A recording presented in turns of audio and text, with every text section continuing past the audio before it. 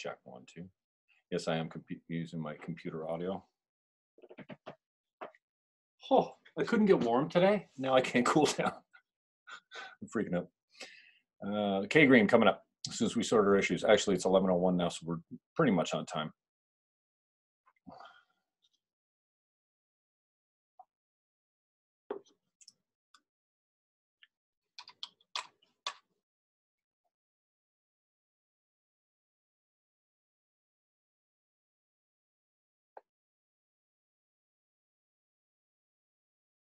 Tick tock, tick tock, tick tock, man. It's brutal. I did have that same echo for another one of my interviews that I had on Zoom. Can't remember if I just gutted it out or what happened, how we solved the problem, but we're working on it. I'm just going to communicate with Kay. Two, give us another try on the same meeting link. Man, it's my computer slow.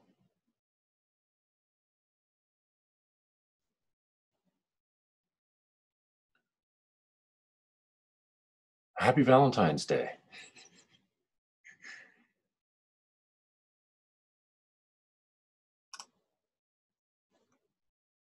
Hmm. My thing is just like molasses. Minus 14 like it is today. Wow, I've never seen my computer so slow. Isn't that always the way? We get a breakdown, she says. Coffee will make me sweat. What the piss is going on here?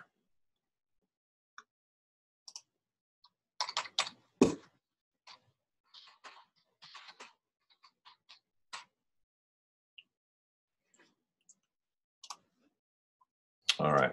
Sorry for the technical difficulty. Sorry is a sorry way of being. Everything's landmark today. Ding dong. There you are. I think I had YouTube in the background playing or some something ridiculous. I can't hear you now. oh, there you go. Okay. perfect. Yep. All right. Are we ready? You adjust this angle so there's more of my head in there. Yes. What's going on, Kay Green? It's been a long time and I forgot ever referring to you as coach. Where did, I don't know when that happened. where did that come from? I have no idea. And I wonder if it was when you were running for the green leadership. The Is conversation. that we that when we. Yeah, okay. Is that when we had the most interaction together in 06? Uh, 06, yes.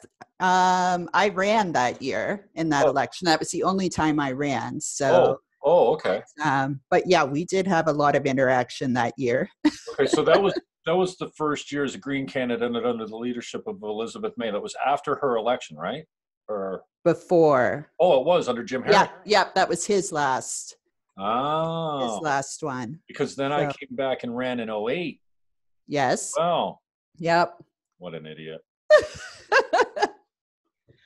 Okay, just for our listeners and uh, for anyone that's watching live, I'm going to put up a Zoom call later so they can see you right now. They're Okay. looking at me and hearing you. ah, good. I'll put up. I'm more Zoom- comfortable with that. Oh no, you'll be you'll be up later. Seven o'clock tonight. I'll have it up. I'll premiere tonight on YouTube at seven o'clock so they can see your pretty face. Oh, thank and you. And I appreciate your time. Just uh, introduce yourself. Uh, you don't have to start at the beginning, but take as long as you need to kind of fully self-express yourself. So I guess you don't. I guess you don't need to say fully self-express. You, you just stop there. You don't have to say yourself after that. You're just self-expressed. So,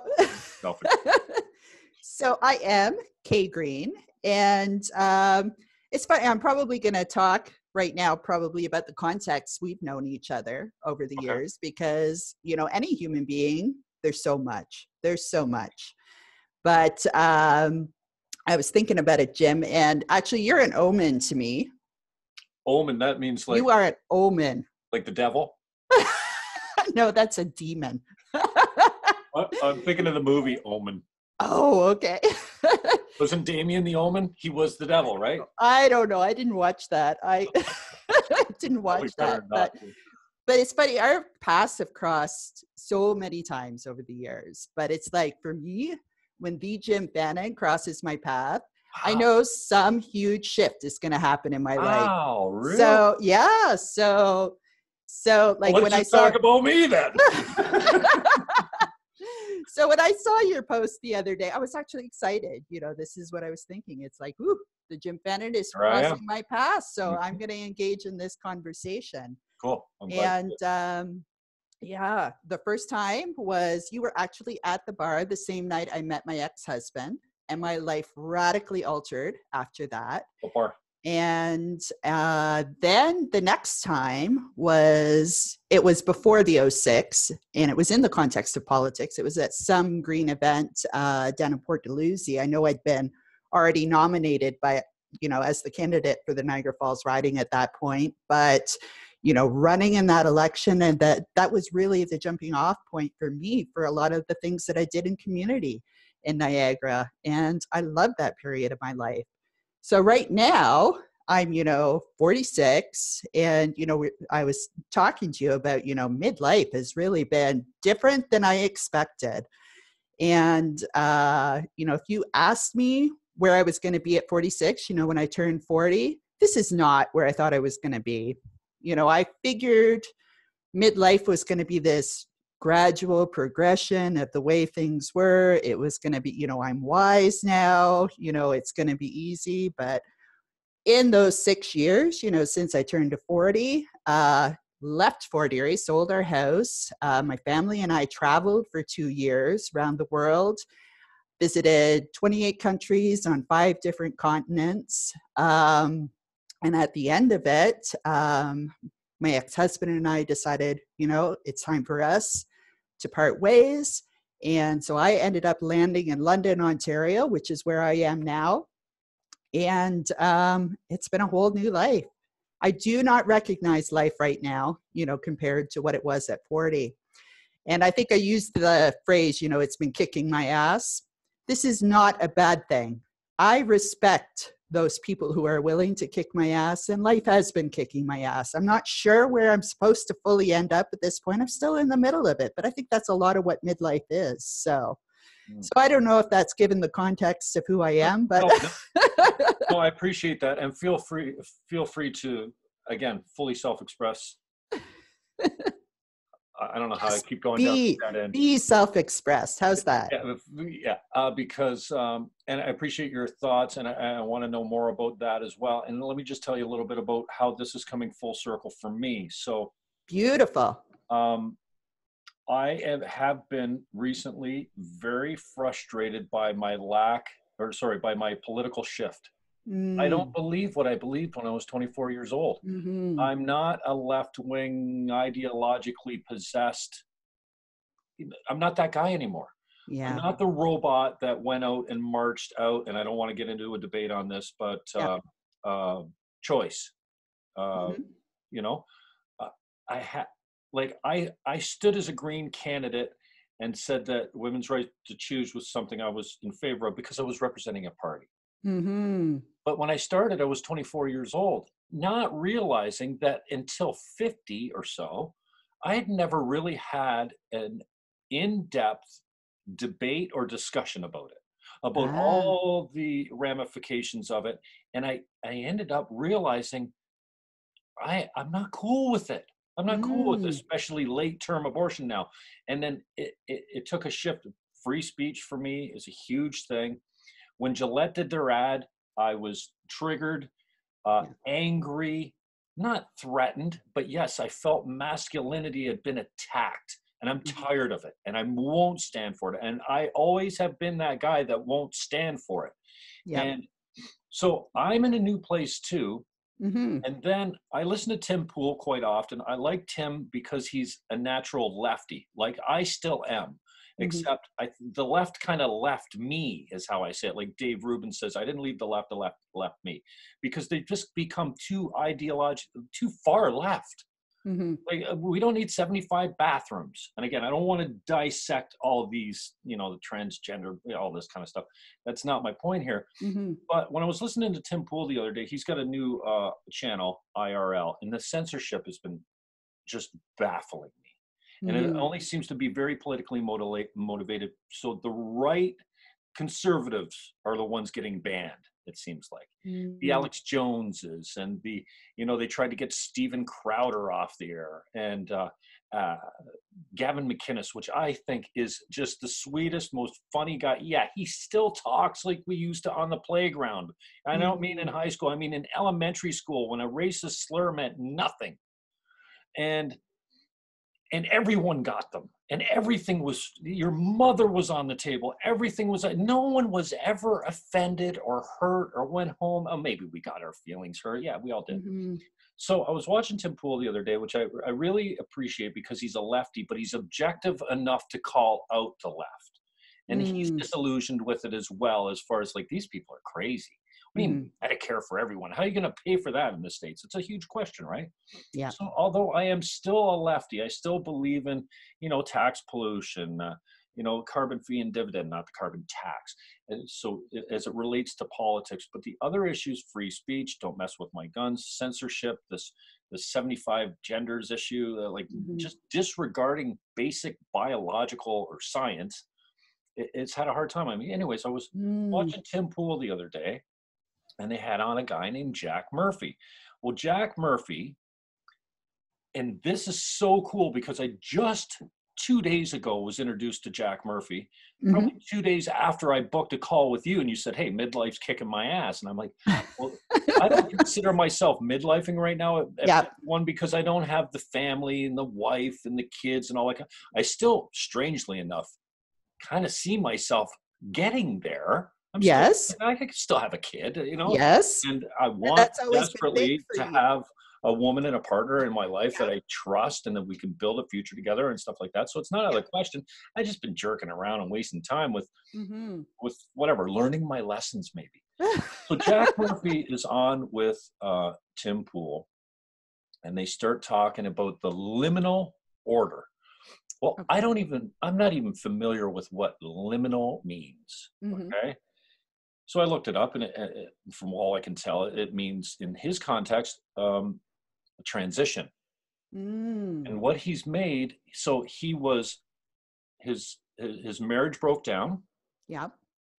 Then he found that life had completely changed. Dating had changed. Yep. Women had changed. The way you approach Mhm. women had changed. Men had Yeah. changed. Life had changed since he was, you know, in this box of marriage, and he didn't have to worry about it. Mm. Then he's a Trump supporter. hmm So his ideological uh, bent, as far as conservatism in the states, got him doxxed. They Uh, publicly put his email and his address. They sent letters to the little league that he coached in. His kids were tormented at school, and now he said, "Like I'm in. I don't. I have to learn it all over again." And I kind of, I'm like, "Hey, this is so cool." Uh, he has a he has this group called the Liminal Order, and it's it, it, only a men's group, right? Yep. And it, from what I can see, so I haven't been invited to it, and I'm not sure that I ever will. yeah. Uh, I think they screen their candidates that they invite into this, and, and from what I can tell, it's a group of guys that are going to support each other and help each other to be better, so they can go out into the world and make a powerful difference to make the world better for everyone. The idea is masculinity has taken a massive shot and that leadership and that eldership for both boys and girls is really important you know Mhm. in the states 85% of the black community are fatherlessness and i Mhm. think it's the number one issue facing us to maybe well the number one issue for me is don't try and tell me what i can say and what i can't say don't put me in jail for making a racist even if i call hate on someone or i say fire in a crowded like it, it- no you let me say whatever I like. I'm an absolutist almost when it comes to it because now, now we see I'm blathering a little bit. But Ezra Levant of Rebel News now is being stopped from asking protesters questions because the cops say it could be an incitement to violence. So we're going to prevent you from committing a criminal act. What? Like I'm crazy Mm. pulling my hair out. So this liminal order, it, it comes back to here's a guy that had to learn it all over again. And so when you said midlife is kicking my ass, I went, oh, this is this is crazy spooky. So I'm really looking forward to this conversation because I've been disconnected from Landmark hmm for 10 years. I didn't know that, Yeah. but I took it into 03. Okay. And then with my girlfriend at the time, I thought, what a great experience this would be. So we went and got a hotel together, and it was a nightmare. it was just a, all the way through, and I was so hopeful. And you know, I only know two people that have ever taken the landmark forum that got absolutely nothing out of it. Right. He was one of them. Okay. Anybody else that I've ever experienced had this transformational shift of uh, epic proportions. Yeah. And so I've been in contact with Landmark. I'm excited to go back with you on the 18th. Thank you. I really appreciate it. Even the even the forward to it. the ability to ride up with you is is really great. And I'm looking into doing another CSL or CLS course leader support for them at some point when I can figure out, you know, what exactly I'm doing because I'm just not banging houses like I used to Yeah.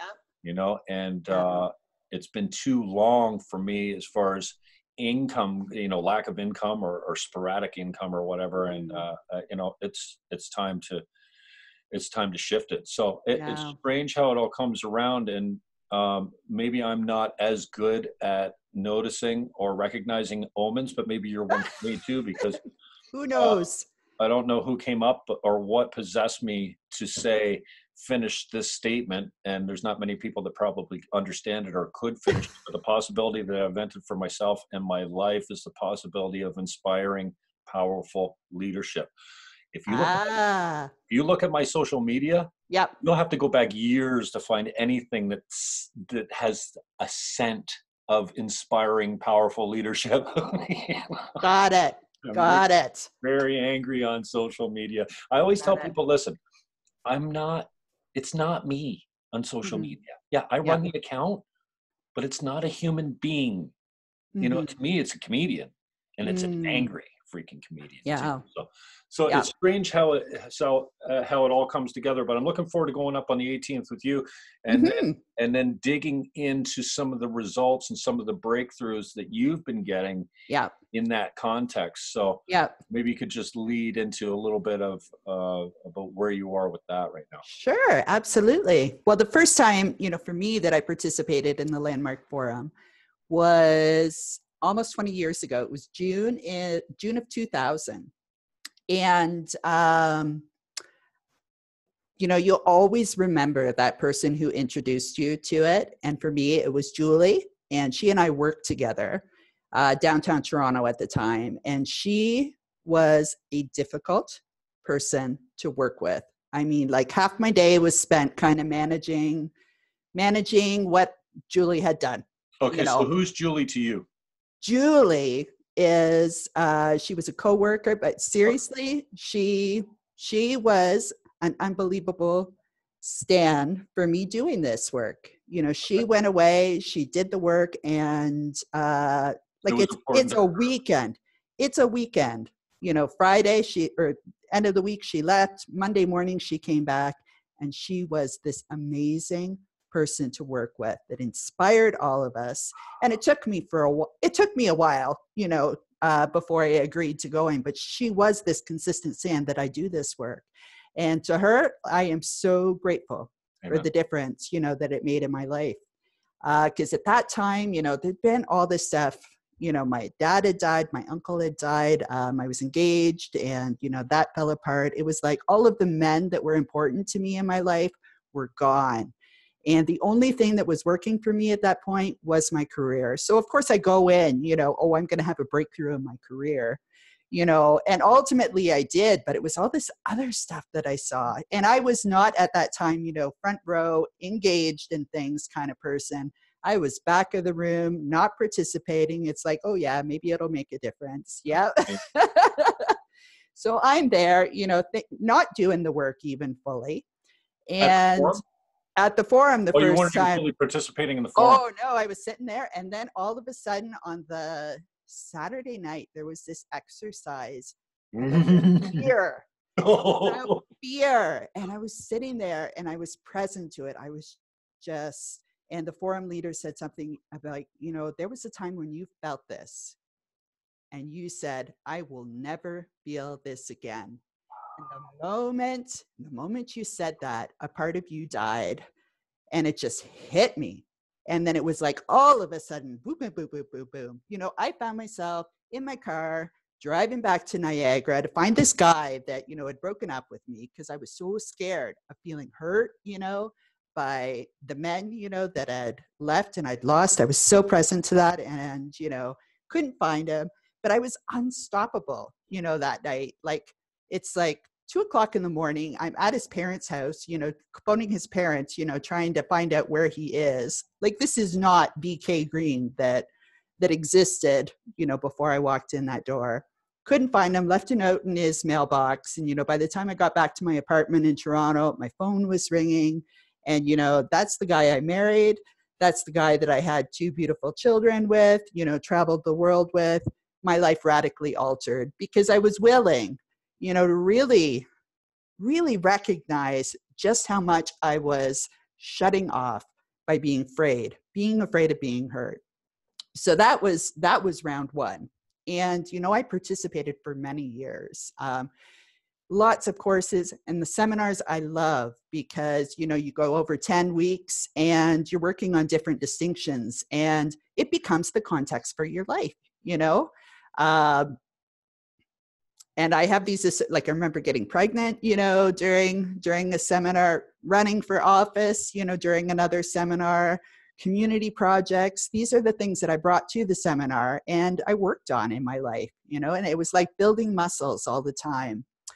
But this last time, you know, I ended up in London, as I said, you know, after we finished traveling. And for me, it was kind of a time of exploration. But I was kind of floating around, you know, and and I didn't leave my marriage because I wanted someone else. That was not it, you know but I met somebody else, and you know, we met, and um, it was one of those things. We had coffee early afternoon. We ended up going out for drinks that night, and by the end of one week, I think we'd seen each other like ten times, mm. and so he was just. I started to see something being possible with this person. And you know, when you start seeing something possible, what shows up? It's like, oh my gosh, all this stuff that's in the way and I became really aware there's a lot I've got to complete, you know, powerfully with my marriage now that it's ended, so that both, you know, my ex husband and I can move forward. And for me, the quickest way that I know to get complete on something, to see what I can't see, see what's in my blind spots, is to participate in the Landmark Forum. So mm-hmm. without even thinking about it, really, I'm like, yeah, I'm going to do this. So I did it again in November. And with the commitment to really powerfully completing, you know, my marriage. And that's what we did. You know, the Sunday night of the forum, you know, my ex husband is there, my daughter's there, and the conversations we had throughout that weekend about, you know, who we were to each other, who we were going to be for each other in the future. We had those conversations, and it was a stepping away with freedom, a stepping away with power and a stepping away really being present to to what we had done to get how beautiful all of it had been and you know what was going to be possible for both of us in the future so that's what started me on this journey again. But it's funny you know because you know been doing this work for years and you have to confront i started a seminar after that and it's like whoa you know we can be really arrogant about you know what we've done in the past and kind of sit on that. So it's really shaken me up and looking at you know what do i want to create now? You know what do i want that future to be like? And you know i kind of downplay some of the stuff that i've looked at but uh, i actually started taking piano lessons again i i stopped playing piano when i was 20 and i was quite accomplished at that point but i'd had uh, i'd had a biking accident which resulted in a head injury and i couldn't I just couldn't connect with the music anymore and I hated playing. So I stopped. And like I was, you know, it was grade eight RCM. I was accomplished at that point and just gave it up. And, you know, when I, as I've been exploring, it's funny because I've done all these amazing things. Like my bucket list did not have anything on it other than, you know, being a rock star. And it was funny, I'd had this conversation, you know, with one of, uh, one of my teammates and he was talking about, you know, yeah, I've always wanted to be a rock star. And it's like, you know, let's give this a shot. Not that, you know, a rock star is the thing, but it's place to start, you know? and it was confronting, but the perfect teacher appeared, you know, here in London. It's so funny. You know, I came to the city because I wanted to be anonymous and I started volunteering at the Grand. And the person who interviewed me there, she was actually the flower girl at my parents' wedding and the perfect teacher, perfect piano teacher for me. So I've been working with her. And, you know, there's so much from just that that I've been getting, you know, about the discipline of daily doing the work, you know, and confronting, you know, those those things you're scared to do. Like I'm terrified of performing, you know, I just I see myself where I was and I know I'm not there, you know, but what's missing? It's doing the work. And that's a lot of what landmark is about too, you know, we a lot of times, you know, we're afraid to do the work or we're not willing to do the work. And doing the work makes a difference. Okay, so just quickly, if I if I leave the screen here, just keep Yeah. talking because I'm not. I'm just checking. But uh, tell me just quickly what was the fear exercise, and then expand on the work a little bit. the work, the fear exercise. Is that the one when you stand and you stare into someone's eyes? Oh no, no! I think that's in the advanced course that you do that one. Uh, But the the fear exercise in the forum, you're sitting in the room, and you've got your eyes closed, and Oh, it's coming back. yeah, the the forum leader is is really he's saying a whole bunch. He or she is saying a whole bunch of things to get you present to Coaching what Coaching what- you into getting to a place where you're afraid of. yes the person on either side of you is really where where they're trying to get you to and really getting present to how how how what that experience is like and really that that is our experience we're afraid of that person on our left we're afraid of that person on our right and yeah it takes a bit and it's dark and it's quiet and it's icky feeling you know and I shouldn't give it away, but kind of the joke at the end is you realize that that person on your right and that person on your left, they're just as afraid of you. Mm. as you are of And them. so much of that landmark, those distinctions, Yes. crashing on you. Yes. Like, yeah. like you were standing still on the beach and a wave just completely, like, Yep. there's no way to get out from underneath that type of Right. that- Right. that, aha moment, or when you pop, as they say in Yeah. landmark. Yeah. And And it's, go ahead. the work. Yes, the work. Well, like as I said, my first experience at doing the forum, I did not do the work, you know, the first two days. I expected it to happen to me. And, you know, that's kind of a default thing, you know, for a lot of us. We think, oh, yeah, we're going to sit there and, you know, magically, and sometimes that pop. does happen. Mhm. But, you know, most of the time when things actually happen in our lives, it's because we show up, we go, we do the work. And, and we do the work with a commitment you know? I this is what i want you know? This is what i'm standing for.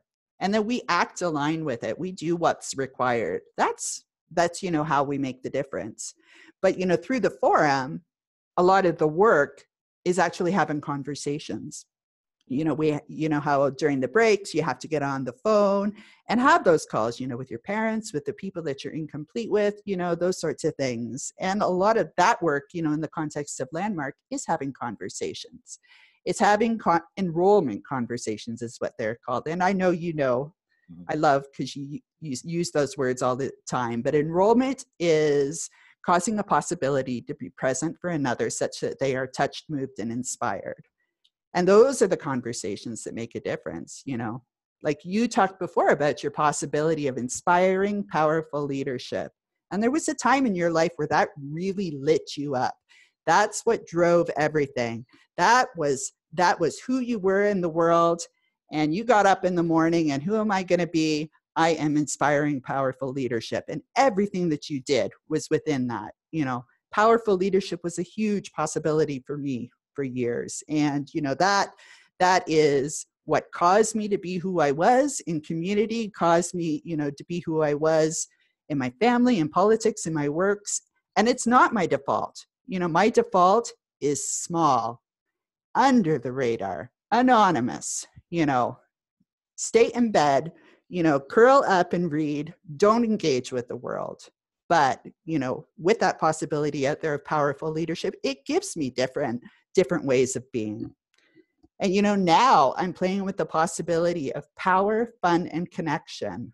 And there's so much that's become available for me. Like i can make stuff really serious and significant and i can be really scary really scary when i do that. So you know having that possibility of fun uh it gives me new ways of being that that I haven't had available before. You know, and how I interact with my daughter. My daughter's a teenager and she's amazing. Like, you know, I have just been gifted with these great kids, but they challenge me. But she and I, we have so much fun, you know, when we banter back and forth. And uh, she refers to me as sometimes as the most inappropriate mother ever. And sometimes I am, but you know. but I can be with that, you know, in the context of power, fun, and connection, you know. So yeah, all this conversations led me back to my act, which I kind ah, I, am always okay. present to my possibility. And you're right, it's been a long time since I've been connected to it, and it's been a long time since I focused on that as a way of being, honoring my word, and being that all the time for everyone else and myself. And then my act. ah, You know, you know how long it took me to get my possibility? Months. When- ah, When I watched the um, uh, City Slickers with Billy Crystal, there's Okay. a scene where Billy Crystal says, "Hey, what was the best the best memory of your life?" Well, you can quote my marriage. You can quote the day my children were born. You can say, "I remember." Hey, and I was stumped because I don't have those things in my life. I mm, know, you know, I, I don't remember the first time I drove. I don't remember the first time I went to a bar. I don't remember um, anything significant that, you know, normal people would say, hey, that was a great day in my life. You know, I turned Mhm. 21, my kid was born, I got married, the, my wife walking down the aisle. I don't know. and- I was for months in this Mhm. question mhm. and then completely depressed by the fact that I had to search for so long because I had a list of nightmares that I could give you. Yeah, The worst days of my life were not difficult to pinpoint. hmm So then I, I kept coming back to what's wrong with me? mm, Like, who am I? Who have I become? Or all- have all the choices that I've laid in, made in my life led me to a point of what? Nothing? mhm. so then when they asked me to you know whole and complete comes you know i think everyone gets that one first oh, i want to be whole Mhm. Yeah, boring you know and you saw uh, uh, one of my friends that was in the thread the other day and i'm just me I, I i thought about saying it and i'm like yeah i'm gonna say it because i i, I like saying stuff. I'm like oh geez that's boring. What a boring possibility. I felt bad but he's like hey that's who i am right? It was uh leighton and he plays piano well, as well uh paul leighton and um then it was the same thing about my possibility. I couldn't come up with something that fired me up. yeah, And then it's it's weird because you know you, you remember where you were when the when the planes hit the tower. Well, I I remember that too, but I also remember where I was when the lightning bolt of my inspiring powerful leadership came to me. okay, I was sitting on Welland Avenue facing the QEW about to go under the at that that light at the service road going Yep. under, the, under the highway under the Yep. overpass and it hit me again like a wave or like a like a bolt of lightning I was like wow I got it I popped right there and uh, for a long time I lived in that and for Yep. a long time now I've I've given it up my I think Mm. I've let my act take over and I had no problem I don't think describing my act my tell act me about is- that.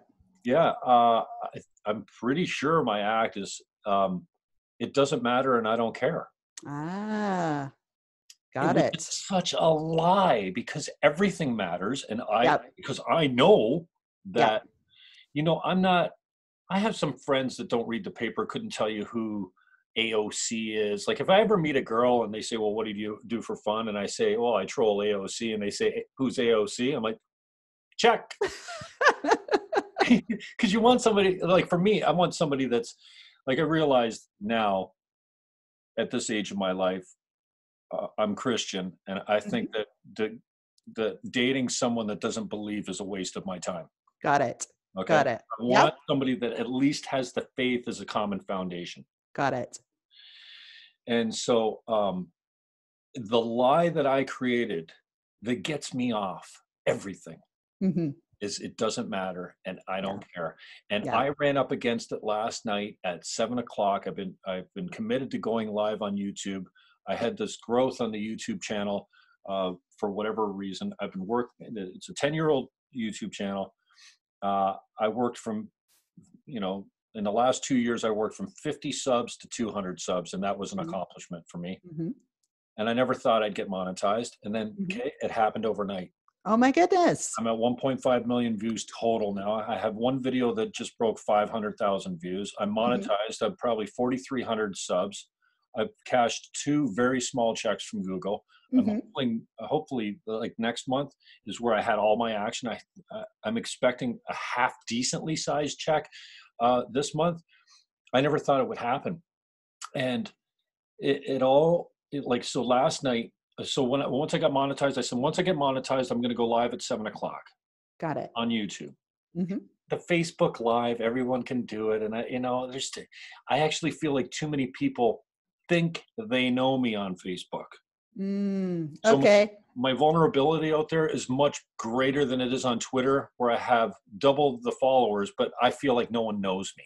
hmm And if you say to me, "Oh, Jimmy, I thought I knew you," no, I'm still attached to the meaning that I I uh, insert into your comment you know, right. because we Okay. shared an experience because uh, you know, I like you, I want you to like me, and if you ever say, "Well, yeah, I made a you know a video called "Fuck Gillette" because I was really pissed off that they were, Yeah. were trashing masculinity, and I had so many of the people that I know and love, maybe not as well as they think they know me, come or say to me on Twitter or publicly comment in the link, going, "Geez, I really thought I knew you. What has Mhm. become of you?" And that Mm. hurts. So now when I go Yeah. live, I don't go live on Facebook because I'm a little. I haven't reached the point where I don't like where I can just say forget about it. Because if you say forget about it to the haters, you also have to say I forget about it to the ones that give you props and praise and love. hmm You know, if if you're not going to care, you can't care about either one of them. Right. Right. you know? And so I realized that, and I ran up against this last night. Who really cares if I skip a night? Like really, I, I don't Mm. feel like it today. Yeah. I don't feel like I have. I'm not wound up passionately. I'm not ready to go, Yep. and I'm gonna suck. And you know what? No Mm. one really cares. So it's just easier for me to take a nap or do, do whatever it is Yep. and not have any cameras rolling. Yeah. And I actually looked for inspiration. I called a few of my peeps, and I was like, you know, sometimes somebody can say something and it just puts it in my head. And I'm like, oh, that's two hours of content now because my fear is I'm going to turn the camera on. I'm going to have nothing to say. Ah. I haven't- Okay. If I have an interview, then that's no problem because I can talk.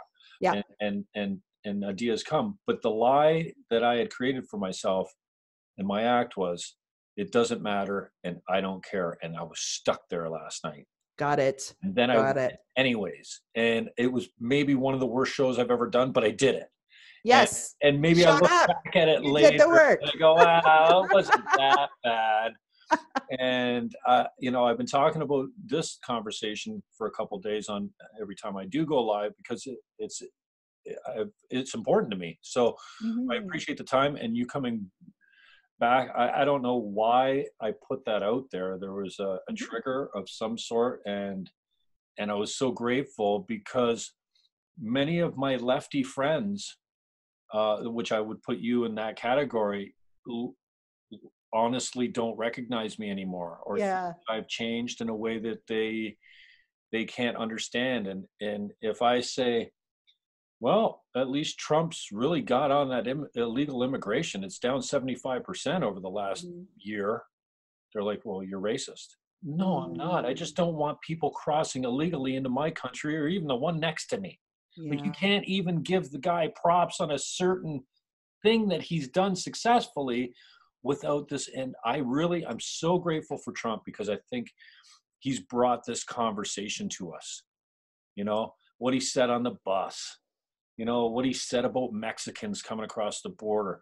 You know, there there was cages under Obama. Mhm. You know, there was kids in cages Mm-hmm. under Obama, and for what I, we weren't talking about immigration then No, because Trump comes in and he wants to build this wall, and it's controversial, and there's lots of people that that push back against it. Now we're talking about the immigrants and you know sanctuary cities and all this kind of stuff. So I Mhm. see him as a blessing, and all I did yeah. when he came in, all I did was say, I am not going to one waste any of my hate where it's placed right now Mhm. because I I've tried to get rid of it. It just I'm human, right? I, Yeah. I acknowledge that there's going to be a certain level of hate that exists all the time for me, Yeah. but I can move it around hmm and I can increase it. Mm. Uh, I'm trying to dilute it and, and repress it or push it down or eliminate it if I could. And all, all the only deal I made for Trump when before he was, I didn't think he would make it to inauguration. I thought somebody would take him out. That's crazy, but uh, here he is. I just said I'm not going to hate. I'm not going to waste my hate on him. I'm not going to generate Mm. any new hate, and I'm not going to because I experienced that with Stephen Harper. Okay. I couldn't look at him with going. there were so many Mm. things. Yeah. And, uh, maybe hate's a strong word. My mother always used to say that. So, uh, and now I can look at Trump objectively, Got it. and I can look at him and say, "Well, I find him funny." Mm, I know there's yeah. a lot of people that don't. Uh, so that's that's a little bit about, where my shift has come up. But Yeah. this idea that um, my act is it doesn't matter, and I don't Yeah. care, Yeah. gets me off of responsibility of almost Yes. anything I need to be released from. Yep. And that's powerful. Mm. Powerful to be able to see that because when you could see it, then you know it's there. Like it's not longer in your blind spot. You can actually do something about it. And you know, it's it, you know, you're talking about something that I'm really present to in what you've just said, Jim, is about how, as human beings, we're shying away from our di- from difficult conversations. You know, because people don't agree with us, and um, we don't want to hear what they have to say. And you know, in particular, you brought up what was going on down at that at the Mexican border with the separation of families. For me, that was a very, very personal thing. I actually, while I was traveling, I did a contract with UNHCR on just that immigration detention and alternatives to detention. Yep. And when everything blew up down there, when this all came into the media, I was actually crossing that border with my family. And I was so present to, whoa, I've got the right passport. You know, my kids look the right way. My experience is so different, you know, from these other kids. And it broke my heart, you know, knowing that these kids are being separated. And you're right. This has been going on forever and it's not something we've been talking about. And no, none of this is pleasant, you know, and there's stuff going on all over the world that, you know, doesn't work. You know, it doesn't work for those kids. You know, it's, and you and I are going to see this completely differently, but both of us have to be engaged in that conversation if we're actually going to create a world that works. People who view things differently are going to have to be able to sit down and not see each other because they view things differently as as you know the enemy but really as a partner in making something something that works. So and we're not good at that. We are not good at that as human beings we'd rather see things the way we want to see them and not listen. But so you know you're talking about fatherless kids you know fathers being present. I think it's these conversations missing that are really what's breaking it down. We aren't engaging in these conversations. We're scared of people. We're you know we hate people hate is there in a lot of our conversations. And that's what's So- frustrating for me because I see the Trump in me. I see Mm, and accept that that is part of my nature to be like Trump is. Okay. And Mm. so, and I, I see also the ignorance of a Madonna at a women's march standing at the lectern and saying, you know, I think about bombing the White House every day. mm, And she doesn't get, she's pulling a Trump. Like mm. when I'm pulling a Trump, I get it. And Ah, sometimes it's in an act and a performance or a bit. You know, I've been doing bits where I've been working on because I realized some of these bits, some of these stories are t- they're, they're little comedy bits. They can make someone Mm. laugh, and what, Yeah. what's more important? Mhm. And great segue. I'm glad you led me down this path. I wonder, and you don't have to have all the answers right now, but hmm for the thinkers, I like to ask this question What do you think the top three conversations are that we're not having or having badly that need to actually happen to move us forward? And I set this discussion with the ground rules of we're more tolerant, we're more accepting, we're more pre- uh, progressive, we're healthier, we have more information, we're richer. There's no one starving in the world right now unless it's under uh, a political oppression. We've never been in a better place, Yeah. but it can always be better. And we've got some serious, serious issues. One, I Right. think the opioid uh, uh, problem Yeah. both the mentorship or the eldership that's lost with our with our youth both men and women but i think men are feeling it more because men were taken out of the family first they were put into the industrial revolution Uh, Mhm. welfare recipients couldn't have a man in the house and now 85% of the black families in the states are fatherless hmm and i think that's a huge so i've got my top three the three i think free speech for me is number one. We have to have a conversation around censorship. And then number two i think is for me has got to be fatherlessness. And then i think there's a religious conversation we need to have. Can we be sure that christians jews and arabs or i shouldn't say arabs muslims can coexist Mm. can we can, can we come to an agreement where okay uh the quran might say some crazy stuff but we're not fearful of being pushed into the ocean and eliminated like we need to have a conversation where we can and yeah we've got all kinds of capital punishment abortion there's all kinds of issues that we can that we can talk about but there's a, a, a bunch of conversations that we're having badly or not having at all that we Yeah. really need to have fleshed out not when people are going to go no you're a bigot and just turn you Yeah. on you need and i think the left has been not so great at doing that you know, i find that the left is kind of in a in a they're in an echo chamber a little bit they listen Okay. to cnn and they don't ever watch fox news well i Mhm. watch cnn all, not all the time but i also wa- like i have a balance Mhm. and they don't make up my mind for me but at least i'm Yeah. balanced i want to Yeah. know what the other arguments are so that if i'm having an educated discussion i can take those arguments apart but I Mm. find that the the left doesn't seem to always want to, and I, am generalizing, obviously, they're not as open to having those discussions and want to shut it down by saying you can't say that or we can't talk about that. So, what Mhm. do you think some of the really important discussions are that we're not having or having badly? Well, and my conversations are probably going to come come at things from a slightly different angle. What I'm hearing a lot, and what you were just talking about, Jim, are those us and them conversations that we have. You know, whether we make it about the right or the left. And I actually find it kind of funny that you considered me on the left. I was definitely there in my teens. Yeah. Oh, and you know, you know, there's that Churchill.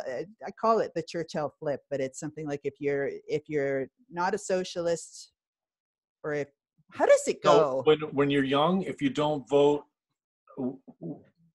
you got to vote with your heart, which is left. Yep.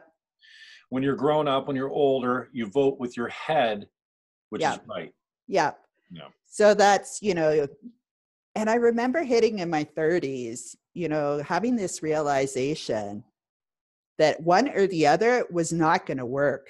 You know, I needed to go down a path where I had both heart and brain, you know, working. And um, so we need them both, you know, Definitely. we need them both. But I definitely came from the right, you know. Um, there was a lot of blue in my green, let me tell you. okay, good.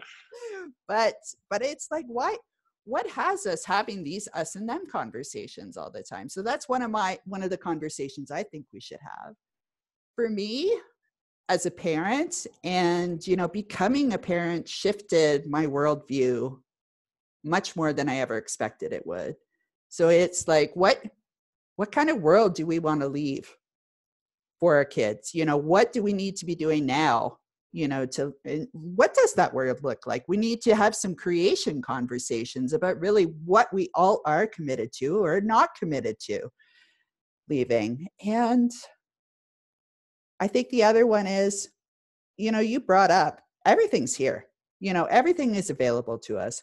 Why aren't we thriving why aren't we thriving you know in this space so my conversations are probably a little different. You know, they're not so much issue based, but really what's going on underneath? What is going on underneath and what where is it we want to go? Those are the conversations I think that will make a difference. You know, for all, all of those other things. Do you sense a, a, a, a I believe well, I'm sensing a lack of gratitude on both sides. But mm-hmm. again, mm-hmm. I'm more focused on the left because they irritate me a little bit more. you know, yes. The idea that like we don't live in a rape culture, okay? Mm-hmm. Women and minorities are not oppressed. They're not. Yes, does discrimination happen? Absolutely. Does rape? Absolutely. Rape. That's horrible.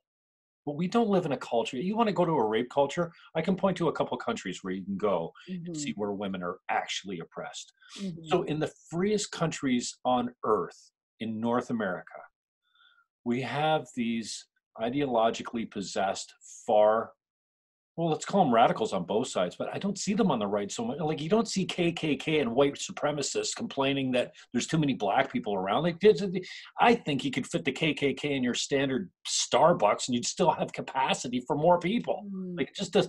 But on the left, this idea, yes, um, there's too many homeless. There's too mm. many drug addicts. There's too way too much mental illness. Mm. But look around you, man Mm-hmm. These are the greatest times we've ever known.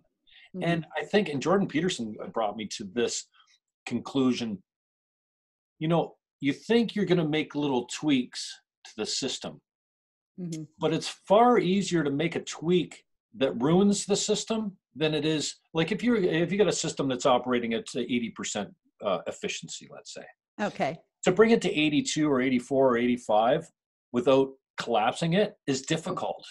Mm-hmm. And it's far easier to tinker with something that's working pretty well and have it fail and backfire on you. Mm-hmm. Like, oh, yeah, that's, and these people think they're going to kick out the foundations of Western civilization, mm-hmm. traditions like mother and father of different sexes in a, nuclear fam. Uh, is that what nu- nuclear? Fam- yeah, yeah.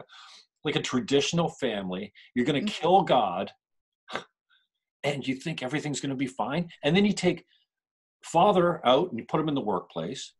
You take mother out now, you put her in the workplace. We, I don't think we've seen the full effect of what mom going to work has done to our kids. Mm-hmm. And I wonder, like, where's the gratitude? Mm. Like, why can't you step outside in New York City and look at it, these skyscrapers and go, it's a freaking miracle. I can mm-hmm. flip a switch and lights come on. Mm-hmm. I touch a dial and my furnace kicks in. Mm-hmm. Everything's interconnected. Mm-hmm. We've lifted, we've lifted, we're almost eliminating poverty in the world. Uh, like mm-hmm. the UN had a, a 2015 deadline. Mm-hmm. They beat it by three years. We're, you know, we're connecting people to the grid. We're fresh water, poverty, and what's done it? Capitalism. And these guys are mm. going around telling us we need more socialism. I just don't get it. So, uh, do you mm. sense a lack of gratitude on both sides of people that just don't see the progress we've made? And, and Gary Vee or whoever it is asks this question Who's better off, you or your grandparents? Mm-hmm. Case made. What are you freaking complaining about? There's no mm-hmm. Black Plague. There's no World War II. There's not like you don't have any problems mm-hmm. except where you know where you can get your next version of Jordan Air Nikes. Mm-hmm. It makes me think of King Lear. Oh, reason not the need. You know, our basest beggar is in the poorest thing superfluous. You know, that there's always more than we need. Mm. And, um, but sometimes it is, it's not easy to get present to that, you know, and when you're suffering, when you are suffering and people suffer in different ways. And I am not going to say it's not my place. Well, I do not feel it is my place if someone is suffering to say you should not be suffering. You know, I can't always see whatever that that thing is um, that's hurting them.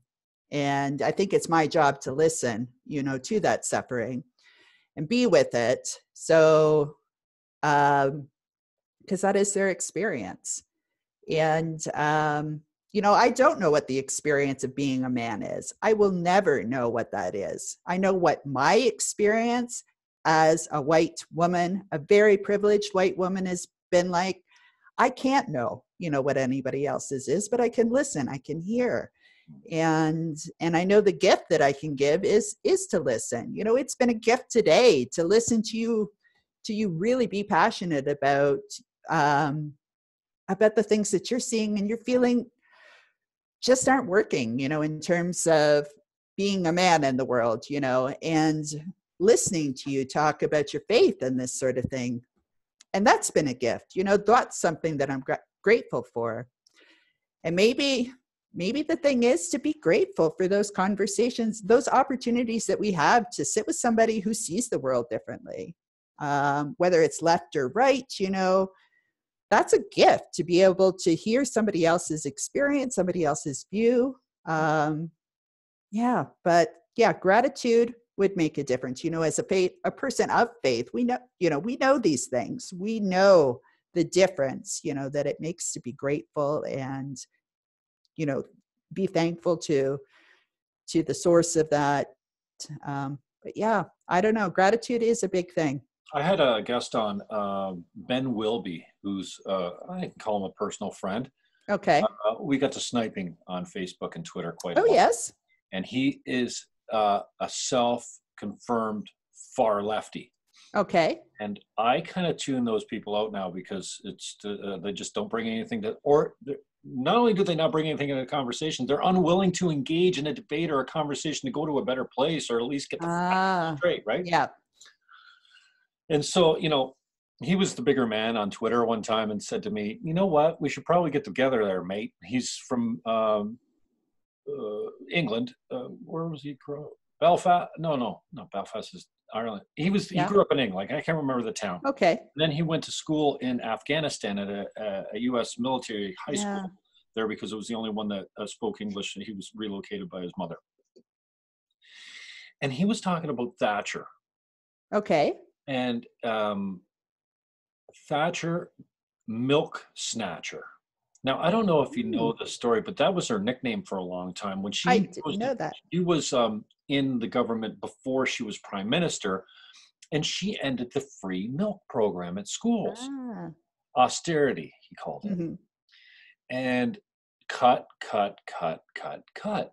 And he Mhm. saw how that impacted his family and and uh, all the all the families that were going to school that counted on free milk Yeah. every day. You know, Yeah. the nutritious, like uh, it was just a thing. And his life experience, like I grew up in the north end of St. Catharines, very Mhm. white, Mhm. very privileged. I hate that word Mhm. now.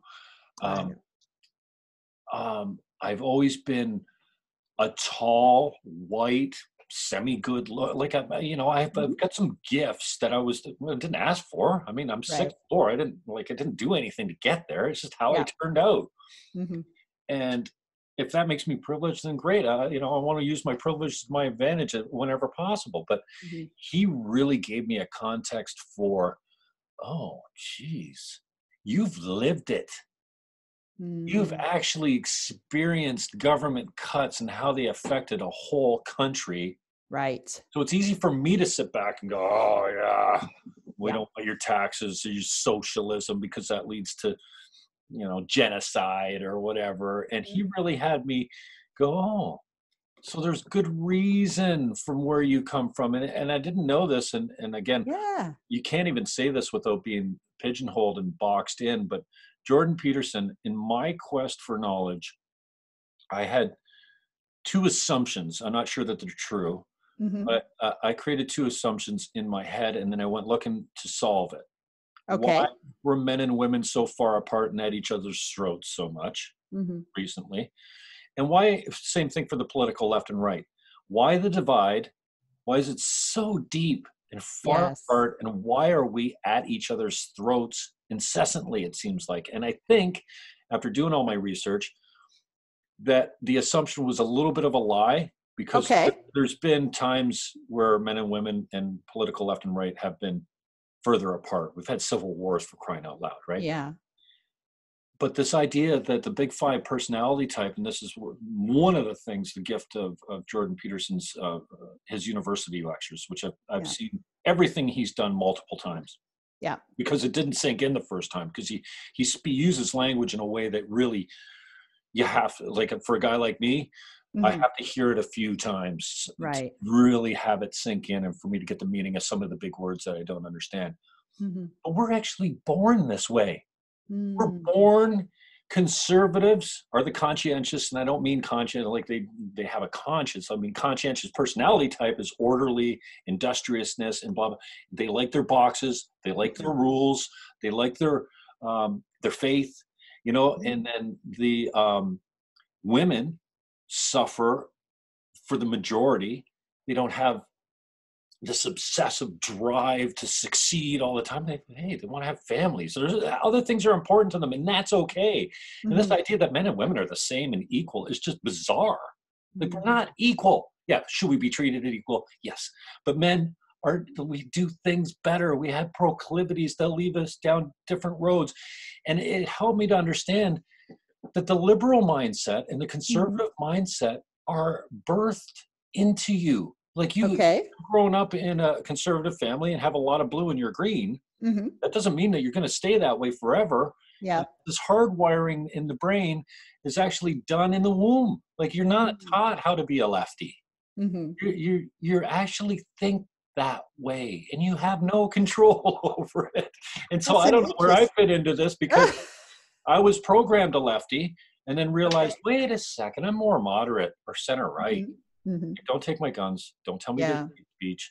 Don't yeah. tell me we oppress women. And if you tell me how, show me. I'll fight with you. Yeah. like nobody wants yeah. inequality.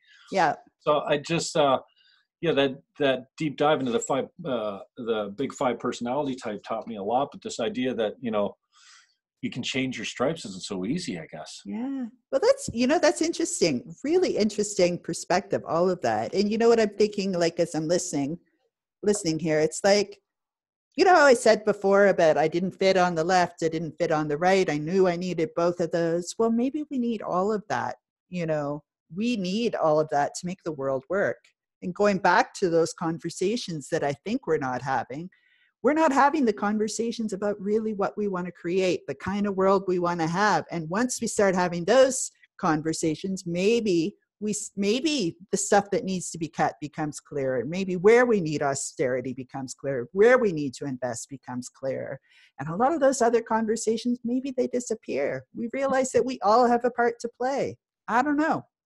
And that's i'm glad you said that because that's part of what i've learned is that we need well men need women women mm-hmm. need men mm-hmm.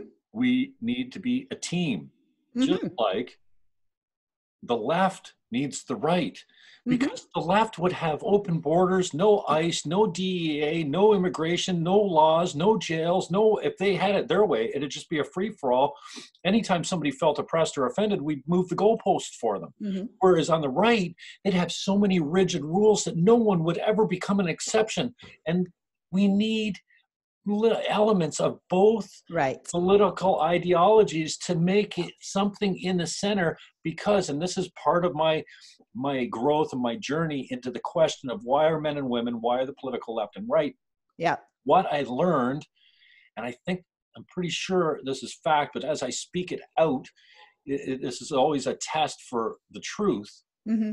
is that 95% of us are right here in the middle yeah, yeah. we're on the left we're on yeah. the right but yeah like even if you take the uh, the uh, the hardest pro-choicer mm-hmm. and you mm-hmm. say okay uh nine month abortion mm-hmm.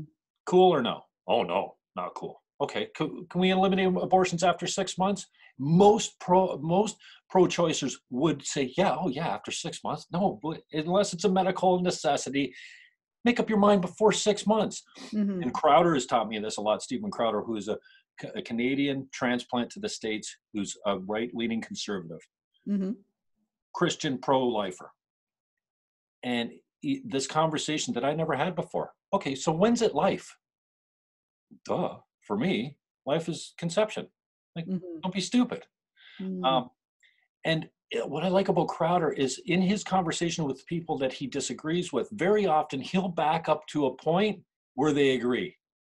Ah, yes, yes, yes. And then he'll take small baby steps to see where the fork in the road comes. Yep. And can we can we can we can we delay that fork until further by saying, okay, yeah, I can I can give you that.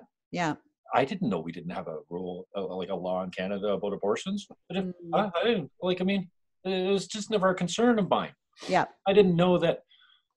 You know the the the, the, race statistics on white cops shooting black kids in the states is not what Black Lives Matter says. We don't Mhm. live in a race. Yeah, are there racist cops? Yeah, but there's it's the small Yeah. minority. Cops are mostly good, and so the black community has been telling their kids, "Watch out for the cops, or they'll shoot you." Well, what do you, you know? And then we got the, this guy just went into a police precinct the other day and unloaded his gun in Mm. New York City or something because he's mhm, maybe been told his whole life the cops rode to get him. mhm.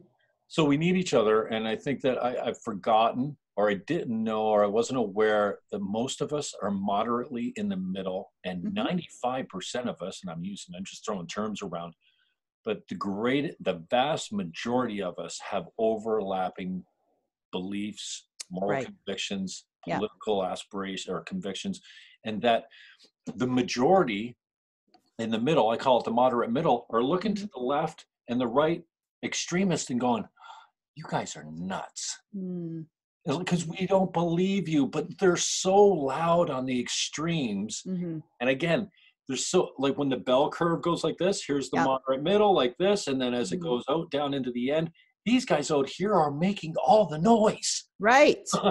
the silent Yes. majority is sitting there on their hands going, No, I just want to go to work. I just want to have a good life. I just want to throw on the switch and have my lights come on. I just want to be healthy and happy. Yeah.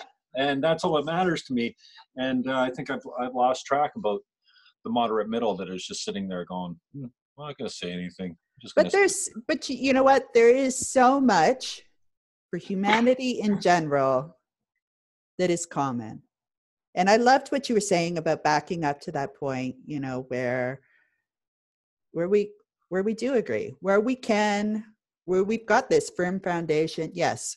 Yep, we're all here.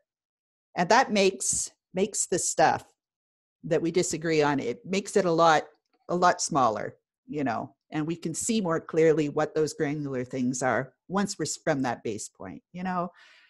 People around the world, like I spent two years traveling all over, you know, with my kids. I really wanted to give them a global education. I wanted them to see more than they were seeing, you know, in 40 year growing up there. And, oh, you know, all over the world, parents love their kids, you know, people want educations. People are there for other human beings that they don't know. Some of the most meaningful moments for me when I was traveling was when stuff went really, really wrong. And I remember really kind of hoping for my kids that they'd see these things when they happen because you are vulnerable. You are so vulnerable when this happens, and you have to rely on complete strangers to help you out. We're down in Mexico. We drove down to Mexico, and we're out in this area that we've got no cell phone service, blow a tire, you know. And, you know, there's all those stories that we hear. We can go into that. Uh, that can be our context for the experience. But you know what? People stopped, people helped us. It was an ordeal. It took about 20 people over four hours to actually get us back on the road. There were so many points where we could have been taken advantage of. We weren't people were there for us. That humanity, that connection, that love, that helping strangers, you know, the Good Samaritan, it was there. 20 people in so many different contexts helped us get back on the road. They saw us as human beings, they saw us as their neighbor. You know, they saw us. That's how they saw us. And, you know, Yeah. that is how so much of the world is. What do we need? An alien invasion for us to get that we're all brothers and sisters and that we need to protect each other? Because you know what? We we get lost in this, especially on social media with the sniping. You're like, oh, Yep. this is a faceless troll account. Yep. I don't care. We forget that there's a human attached to it that actually has feelings, and you forget that these people have the same wants and needs as you have. Yeah. They want to have good, peaceful life. They want to be loved and connected. Yeah. And the isolation that we feel, and I've been feeling it lately, Yeah. but forced isolation is because y y that's where the that's where you that that is the road to hell being Mm, alone and isolated and and cut off from your community whether you Right. force it on Yes. yourself or not which Yeah. i have kind of lately because you know and I, I have a lie that i've kind of created in my life i hate people Mm, But yes. it's so stupid because i love people but Yeah. everything that i do points to my love for people Yes. but if i say i hate people i can get away with not going to anything Yes. I don't have to go to any wedding. I stopped Yeah. going to weddings years ago. Yeah. I went to Yoga by Sarah's wedding. That was the Oh, yes. I've gone to recently. Oh, Um, for whatever reason, she got married, and Walter married her at City Hall, which was a huge step for me. yeah. Uh, you know, it, it's just this idea, and you know, even in real estate, I hate real estate. My mother used to say, "It'll be ten years since my mother died next week." Amazing. yeah. Unbelievable, way too, way too early. But Yeah. she used to say, "You know what, Jimmy, you don't hate real estate." Mhm. Yeah, when you're cashing necks and snapping checks, you love real estate. What you Yeah. don't like is when you have to dig yourself out of the hole Ah, and you're slow and you Yeah. got to get down in the dirt and actually work. That's what you doing like. the work. Mhm. so maybe maybe it's the context of doing the work you know that needs to change one of the things they talk about in landmark is landmark is the power of changing context you know and because within some contexts you know only only certain possibilities can be present like if we have a circle here and this its color and let's say blue and yellow exist in it. All that we've got possible blue yellow and maybe green you mm-hmm. know so we have to shift the context. And then you know other possibilities can be present. So you know i heard you talking about you know there were parts of your mother's story there about the hard hard work of it that that may not be an exciting context that has you want to get out of bed in the morning when it comes to real estate and i could get I that, get that. so yeah so Maybe it work for me. Just maybe the context needs to change who knows but awesome. we are we are at twelve eleven here we have been talking for an over an hour and i think we could talk for days jim Yeah, awesome. Uh, let's book part two of it after we go to, uh, to your uh, session 10 for right. communication seminar, is it? This is the forum and action seminar Forum and action, correct. yep yep Um, I'm really looking forward to it. And All I, right. was, I was a guy that you thought that I would be up at the microphone all the time in my landmark forum. Yeah. Never spoke once. really No, never shared once. Didn't. I did most of the work. Uh, on the way home, I was thinking, what a waste of money. ah And and then it started to crash on me. Mhm. and uh, it's one of the most impactful things that I've ever done in my life, and I've gotten away from it and the possibility of leading people to it. So I'm really looking forward to coming uh, with you on the 18th, and I'm grateful right. for riding up with you too because uh, that helps me a lot, and it'll give us a chance to get caught up. So let's book Okay. uh, part two after that. But I appreciate right. your time. Uh, contact for anybody who wants to get a hold of you later. uh, for me Yeah. ah, i don't even know what to say here I'll find her on Facebook. Kay Green is my guest. I appreciate your time. Kay. all right thanks All right. jim We'll talk soon. bye I need to work this thing. Oh, there we go. Kay Green, cool conversation. Uh, an hour 13. So that's good. Uh, thank you, you two. We'll check you later. I will upload this so you can see her face later. And it looks like I didn't shave today. Uh, I got a few surprises coming up for you there, kids. All right, so get with me later. Seven o'clock tonight, I'm going to make this conversation live on YouTube so that you can see Kay Green's face. Okay, I'm not playing any music for you today. I'm just getting out. Peace. Um, bye bye, YouTube. Share, comment, subscribe, hit the notification bell. Oh, there you are. I'm looking at the wrong. I thought I was supposed to be looking over here, but I'm supposed to be looking right here. All right. Kay Green was my guest. Thank you for the time, Kay. And uh, if you go into the Landmark Forum and Action Seminar on the 10th, when you bring your guests, I'll be there. So if we have a connection that is Landmark Forum and you're going to be in town that day, Toronto at the Landmark Education Center on Front Street, was it Adelaide? Front in Adelaide? Pretty sure I will be in town. Let's get hooked up. I got a lot of friends up there. All right, let's end this meeting. Peace out, yo.